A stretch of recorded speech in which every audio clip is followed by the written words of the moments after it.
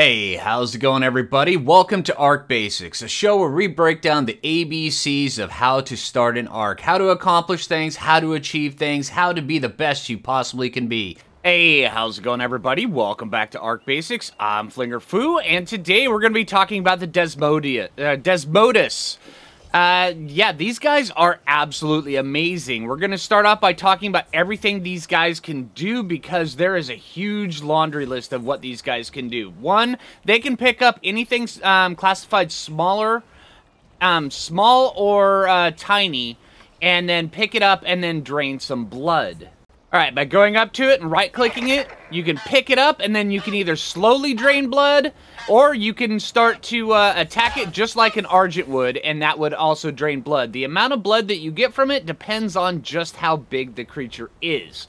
But if you want to go for the big uh, dinosaurs, you can get lots of blood, especially from alphas. These guys, they will harvest up so much. So when you're very first uh, starting out your journey in getting Desmodus, my recommendation was would be to uh, get a small lower level one and just use them to get blood. Because the only way to get blood without a Desmodus um, on the Fjordur map is to slurp it yourself by way of a blood extraction syringe. So get slurping and get started because getting your low one, uh, it'll take some, and I wouldn't. I would recommend having at least 50 before you go. But uh, yeah, once you have that first one, you won't have to use that blood syringe device ever again. All right, now for one of their uh, first abilities, uh, they have uh, echolocation. All right, by holding left click, these guys, they can slowly charge up that and then they can send out a pulse that irradiates everything around them. Now, if you're doing this at night, it actually stands out a lot, little bit more, and then also it provides 20% uh, damage boost to anything that you're attacking while it's night.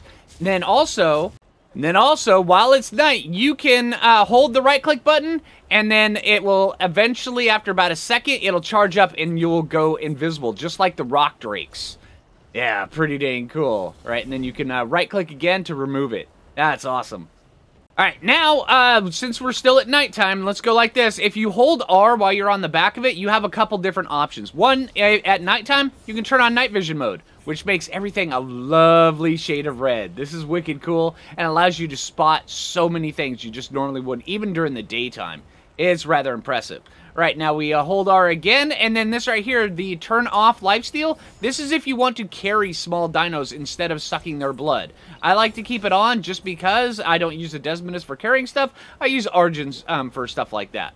But, uh, these guys right here, they're pretty dang amazing, especially for finding things. Now, um, the, uh, my biggest use for these guys is for taming things.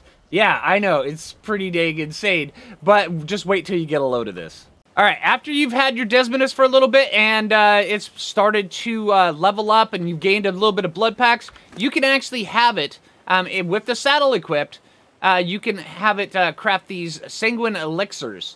Right here, it takes 200 blood packs, and using one of these next to a tame that you have knocked out on the ground will give it plus 30% uh, taming. Uh, it yeah, these guys uh, compare uh, pair these guys with a uh, Ichthyornis, and you have one heck of a taming uh, compilation here. These guys are just big, huge taming buddies. It is really, really amazing. All right, now fighting on these guys is much like um, fighting with a Tapejara. The uh, ability for them to just act as more like a VTOL, it's uh, it's kind of impressive. And you can also latch on to certain things much like, I mean, because face it, it's a bat. But one of their biggest strengths is also one of their biggest downfalls because these guys, they will just naturally harvest up uh, spoiled meat from all their kills. But the only things they will harvest from their kills are blood packs, meats, uh, the special uh, resources, the special trophies, and spoiled meat. They will not get anything else unless if you're fighting a tech creature. Tech creature, they just get regular stuff. But they won't get any uh, organic polymers. They won't get any uh, prime meat. They won't get mutton. So don't use these guys to harvest up any uh, ovis. Just uh, use them for what they're good for, and then go grab something else for harvesting up all your prime meat. Alright, and another reason why these guys are such good um, creatures to use for taming, because while you're on the back of them, you can freely just whip out your weapon, just like this.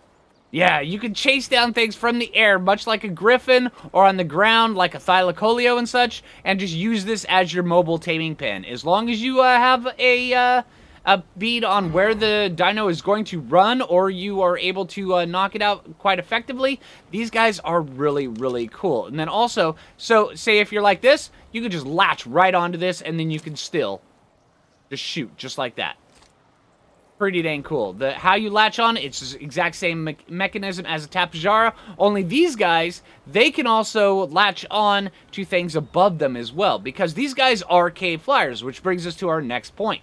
If you are going to uh, um, the caves or the other realms here on uh, oh, Fjordur, but uh, you you want to be able to fly in there. Uh, the Desmodus will take you right inside, no problem. You can fly inside a cave with these guys without even worrying about it. Where uh, if you um, say you enter a cave via um, with an Argent, and then you end up getting knocked off because there's no cave flying in, the Desmodus just go right in, won't even worry about it.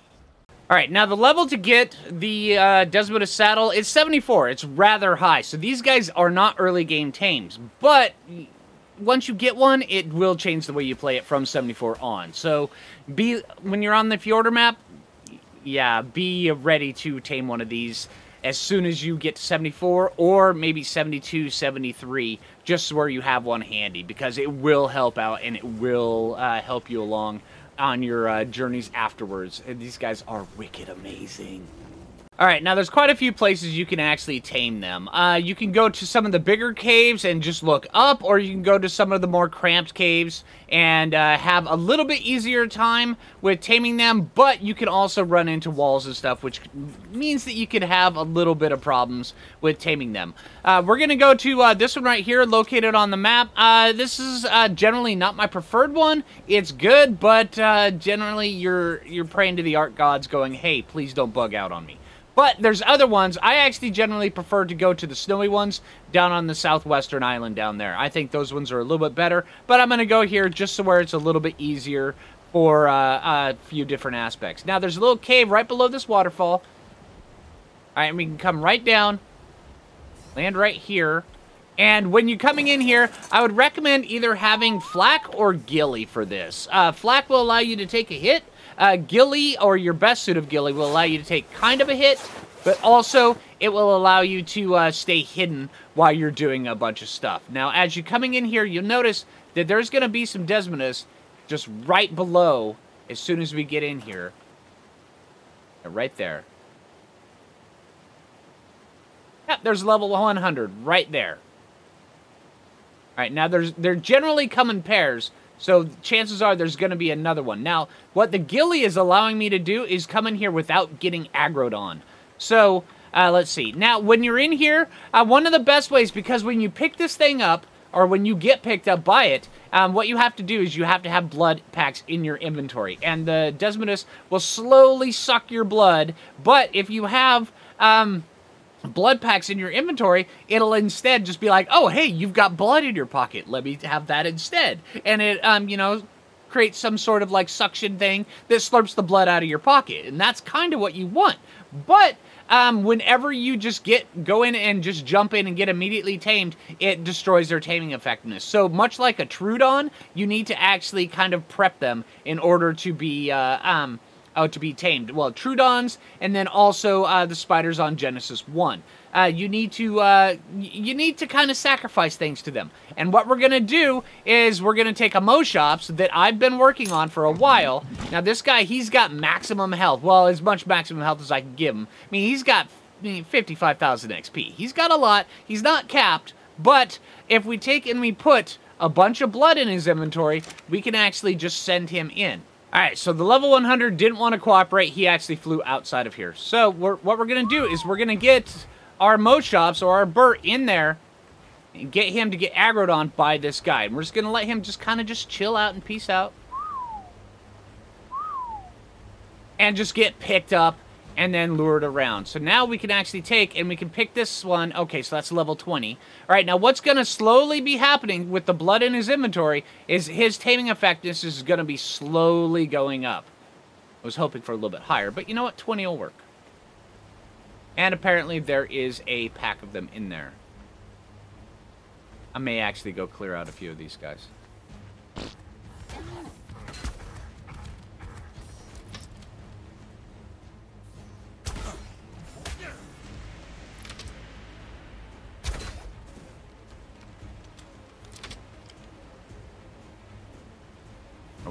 That one? It's the 95 one.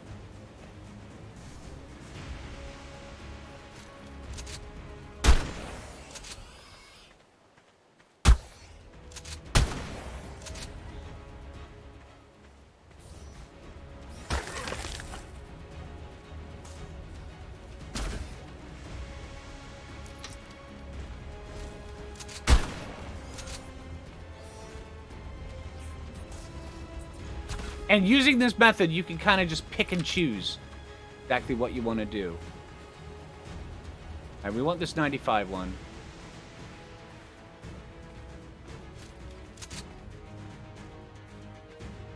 You don't want any of the others.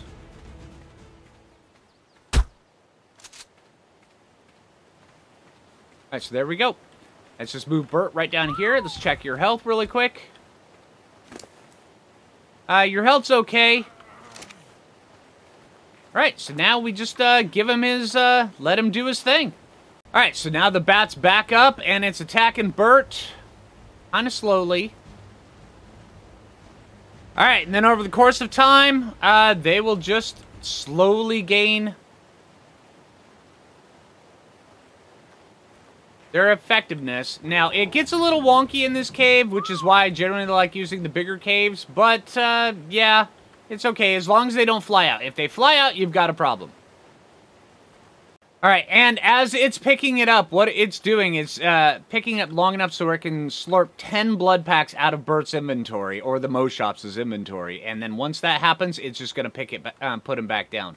Now, if it gets stuck inside of the cave wall, uh, if you just whistle the Moschops to go right below it, and it should generally... See, there we go. All right, and once you have them close to 100%, right now this guy's at 99. He accidentally uh, picked me up at one point in time. Uh, but yeah, for the most part, when they hit the Moschops, that's when they're doing their damage. When they pick them up, um, you uh, generally, they just will be slurping the blood out of them. But when they swing around them and they actually attack, that's the, where the problem comes in. Like right now, he's picking me up, he's slurping my blood, and as long as I don't get deflected off, then everything should be fine. But the moment that he goes over something, like right there, and now he's going to come over and he's going to try to hit me. See? Just like that. Ouch. So then let's just pop onto our Bert. And then let him, there we go. Let him hit the Bert, and then we'll just tame him. All right, so there we go. And that's how you get them up. Now, one of the things I would recommend, if this is your first time doing it, don't do it inside of a small cave. Do it inside of a big cave. Yeah, uh, you could lose aggro and everything like that every once in a while. But generally, there are ways of uh, getting their aggro just by going down near them. But, uh, and also, if you're just wearing flak, you'll uh, get their uh, attention as well. Do you want to stop flying around, dude? There. There we go. All right, but yeah, um, that's the main thing. So where the longer they can hold you, if they can hold you for all 10 blood packs, then they're fine. But it's the their uh, flight is the exact same as, uh, say, like an Argent carrying anything. If you fly something over this rock, it's to get knocked out of your claws. And then they're to swing around it, and then, then they're to start smacking you in the face.